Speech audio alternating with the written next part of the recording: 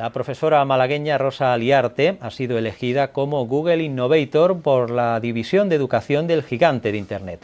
Su proyecto Merezco una calle, en el que se refleja el bajísimo porcentaje de vías urbanas con nombre de mujer, va a ser tutorizado por un mentor de Google durante un año. La Diputación ya se ha interesado por el trabajo para ir añadiendo nombres femeninos a los distintos callejeros.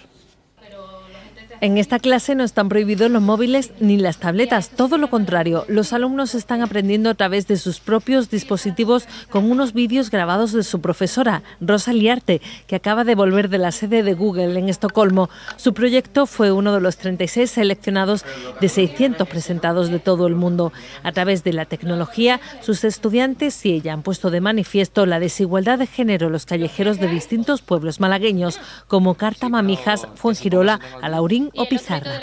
Lo que empezó en clase como un debate, en, ¿existen los micromachismos? No, vamos a verlo, vamos a comprobarlo.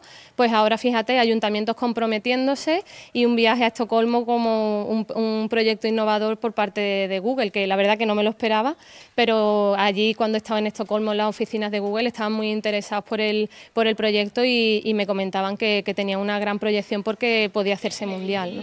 Antes desconocía cosas de mi alumnado y gracias a la tecnología ahora puedo saber la adquisición de contenido cómo trabajan y estar más cerca de ellos. ¿no? sé que yo pienso que la tecnología humaniza realmente, no, no nos aleja. Nosotros aprendimos con una clase magistral y estamos aquí hoy día, ¿no?